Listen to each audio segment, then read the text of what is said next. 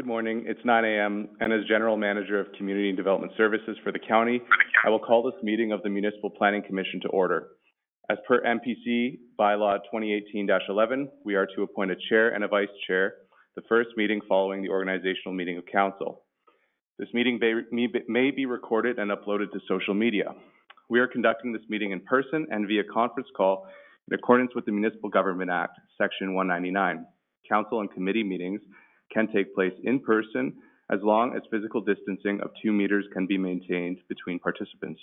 At this time, according to Alberta Health, public attendance at council and committee meetings should be facilitated through virtual means.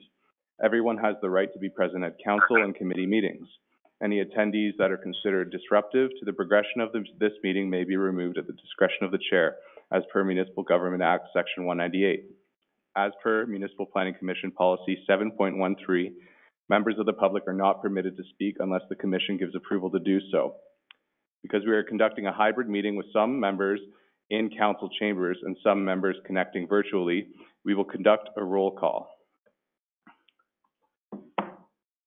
Member Eichert, Uh, excuse me, here. Member Armstrong, Here. Member Klassen, I'm here on the phone. Member Link, Good morning. Member Bigger, Here. Member Kester, Here. Member Wilson,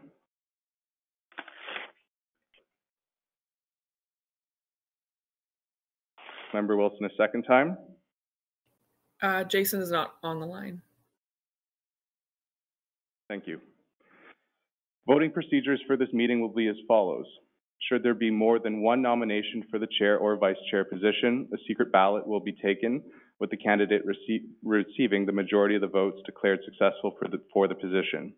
In the case where a clear majority is not successful in the first vote, then the voting would continue on first and second choice only, and the third and subsequent parties would be eliminated. This process would continue until a clear majority is successful. Are there any objections to this voting procedure? I will start with nominations for the chair. Once the chair is nominated, the chair will take the lead and call for nominations of the vice chair. Are there any nominations for the chair of the Municipal Planning Commission? I'll put, uh, Tom Eckert's name forward. He's been there for a year and he hasn't got it accomplished perfectly yet, so he needs some more time at it. Member Eichert has been nominated for the chair. Are there any further nominations? Yes, I'll accept. Are there any further nominations? Third and final time. Member Eichert is now the chair of Municipal Planning Commission for the year. I'll hand it over to you. Thank you very much. Um, sixty-four years old and I still don't know my purpose in life. I guess there's, there's hope. There's hope. Still time, still time. Uh, okay, we have, uh, I'll take nominations for, uh, for vice chair. Nominations are open. I'll nominate Counselor Bigger. Counselor, Member Bigger, do you accept the nomination? Yes. Yes. Thank you. Are there any other nominations?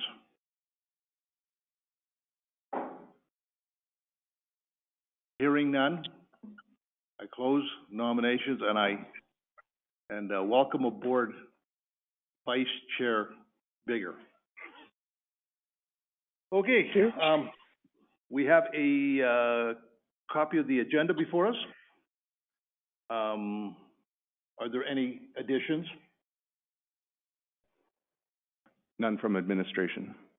Anything there, any, I'll just add one Oh, under, uh, at the end, under other planning matters, just an update to council, to MPC as well. Sorry, what was that on? Just an update. Okay. for- un- Under, Okay, four. four one, okay. Okay, uh, can I get a, um, um, somebody adopt the, the agenda? I'll approve, I'll approve the agenda as amended. Thank you, Donna. Are there any Any negative votes? Not the right word, but that's will work today. Hearing none, I'll, uh, the, the agenda is adopted. We have a copy of the, uh, the minutes from October thirteenth meeting. Are there any corrections? And if not, can I have somebody move the minutes? So moved. Member Link. Member Link has moved the minutes. Any opposition? Hearing none, minutes are approved. We will now go on to development permit applications, two point one, DP 2020-118. Good morning. I'm Suzanne Hayes, Development Officer with Wheatland County. The application before us is DP 2020-118 for a dwelling accessory with a variance to the maximum allowable size. If you would please go to the location plan on page 14, Appendix A. Um, you will see uh, where we are located, approximately three miles north of Highway, the intersection of Highway 1 and Highway 21. And if you go to Appendix B on the same page, you can see our circulation area. We circulated to residents within one mile of the application. There were no responses. Internal staff had no concerns. Um, agencies were circulated, Alberta Transportation, and they did issue a roadside development permit. So we go down to page 15, which is Appendix uh, C and D there.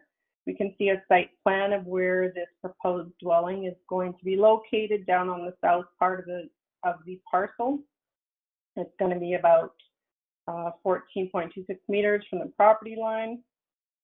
And if we go down to the appendix D on page 16 still, we're still in appendix D, just some more aerial photographs.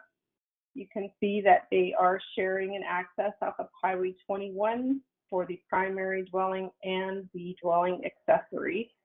And uh, you can see on the um, on page 16, there are the two residences depicted there, the primary dwelling and the proposed dwelling accessory. And you can see that the primary is 1,110 square feet and the accessory is 1,520 square feet, so larger than the primary.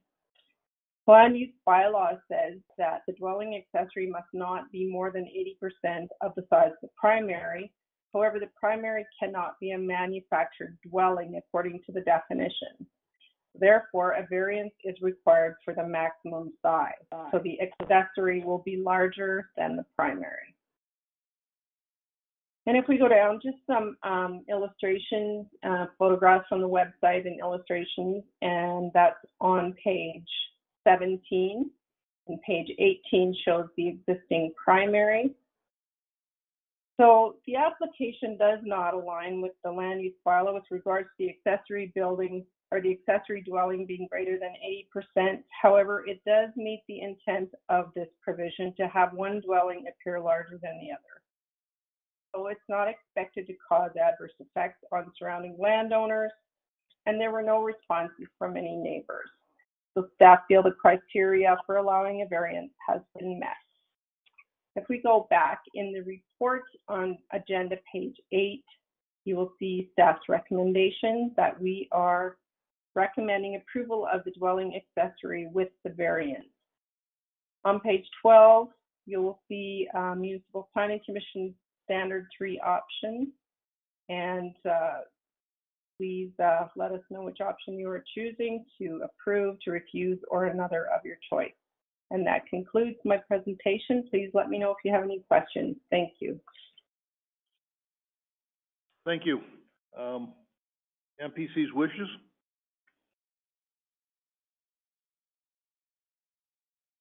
Mike Clausen here. I'll make the motion to approve DP twenty twenty one one eight, uh, subject to the conditions. Thank you very much, Member Clausen. We have a motion before us. Is there anyone opposed? Hearing no opposition, I, DP twenty twenty eighteen is passed. We will now go on to sub, sorry? Okay, we will now go on to subdivision applications.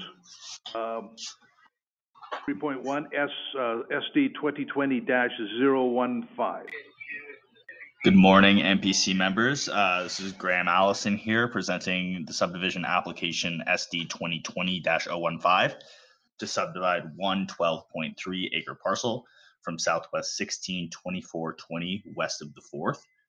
Uh, if you refer to page 24 of your agenda package, you'll see the subject parcel located at the intersection of Highway 561 and Range Road 204, approximately 4.5 kilometers west of Hussar. Staff have circulated this application to external agencies and internally, as well as to adjacent landowners within a one mile radius of the subject lands. Uh, Alberta Transportation requested the dedication of a 30 meter service road right of way along the highway frontage of the proposed parcel, uh, which has been added as a condition of the subdivision, and no other reject or objections were received on this application. The tentative plan uh, is located on page 25 of your MPC package. Uh, as well, there's an air photo on page 26. Both show that the application is to subdivide the first parcel out of a quarter section located within six, Southwest 16 24 20 west of the fourth meridian. Uh, the proposed parcel has an area of 12.36 acres and contains a dwelling serviced by a well and a private sewage disposal system. It also contains a shop, barn, and grain bins. The proposed uh, and remainder parcels are both agricultural general and are in compliance with the regulations of the agricultural general district and thus re- redesignation is not required. The proposed and remainder parcels also both have existing approaches uh, and there are no plans for further development uh, on either parcel at this time. The plan is generally in alignment with the strategy's objectives and policies within the South Saskatchewan Regional Plan, the Regional Growth Management Strategy, the Municipal Development Plan, and the Land Use Bylaw.